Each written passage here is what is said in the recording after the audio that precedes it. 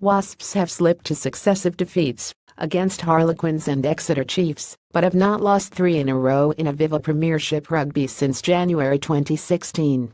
This was last the occasion when they last lost successive matches at the Ricoh Arena against Exeter and Saracens.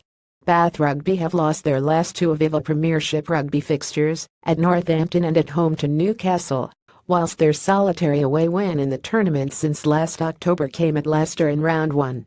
Wasps have won their last four encounters with Bath in all tournaments, whilst Bath's only win in three visits to the Ricoh Arena was 25-23 in the European Champions Cup in December 2015. Ricoh Arena, 3 p.m., live on BT Sport referee Matthew Carley's 63rd Premiership game. Assistant referees Roy Maybank Adam Leal. TMO David Rose. Citing officer Steve Savage.